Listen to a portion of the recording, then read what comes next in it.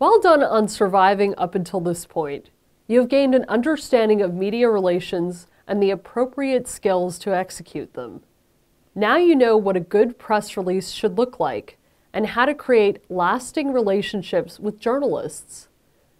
With the ability to create compelling content marketing for your blog and assess the impact of your social media efforts, you also now know how to make sure the right people hear about your campaign.